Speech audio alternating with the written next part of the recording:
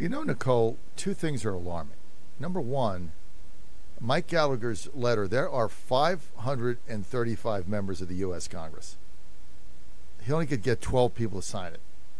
Like, why didn't 535 sign it? That would be my first question. Yeah. Uh, it's a head scratcher, right?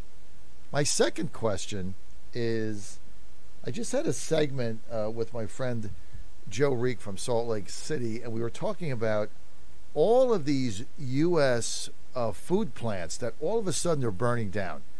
Chicken uh, processing plants burned down, chickens killed by the tens of thousands, cows, 18,000 of them were killed the other day. Now we got uh, 10,000 hogs killed. CCP is buying up farmland.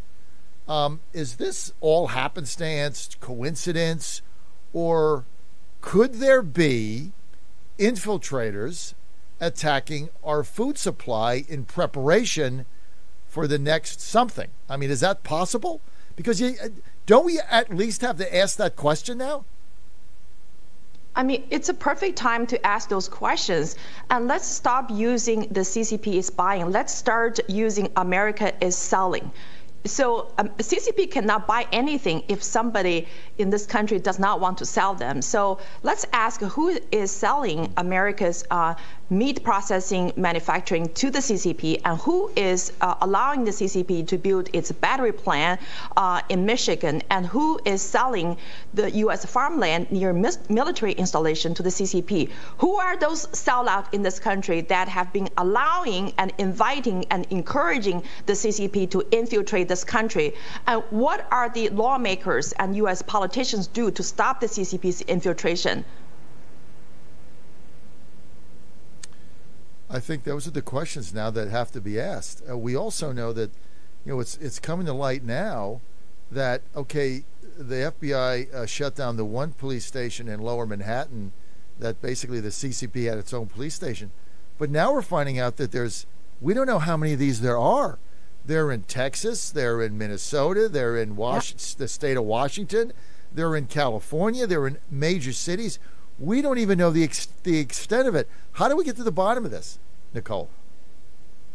I would encourage every viewer of your show call to call your congressman and ask more people to support Mike Gallagher's letter and demand Christopher Wray and the FBI to start investigating all the operatives of the CCP's um, uh, infiltration on the U.S. soil because we know that they are CCP's front organization in, in almost every major city across the United States of America, and they're not only just spying on the Chinese dissidents. They're spying on the American people, and they're also getting involved into the local politics. And guess what? You know, um, I mean, it's the Lower Manhattan's uh, secret police that put together fundraiser for Democrats, for local politicians, and these politicians took the CCP money as part of the campaign. So this is how the CCP has interfering with the U.S. politician, with the U.S. Uh, presidential election.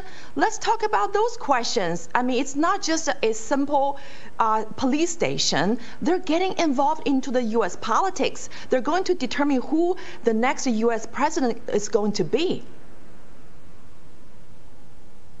You know, yesterday, uh, and I'm not. I don't have time to run the the the clip here, but yesterday, one Democratic congresswoman was uh, actually saying, you know, we should stop criticizing the CCP because um, it's causing hate crimes against Asian Americans, uh, and she said some might even get murdered.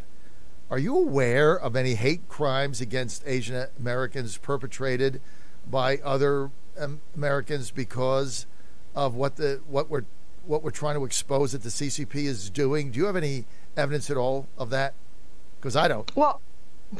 Well, as a Chinese American and Asian American, I must say that we are the biggest victim of uh, the DOJ and uh, SEC uh, capability of doing nothing to stop the CCP's infiltration in this country.